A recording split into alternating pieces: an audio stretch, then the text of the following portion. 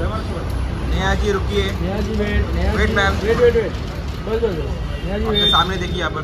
Right हाँ। Side Neha ma'am wait wait wait Neha ji. इधर रुकिए। नेहा जी रुकिए ना। हाँ बस बस।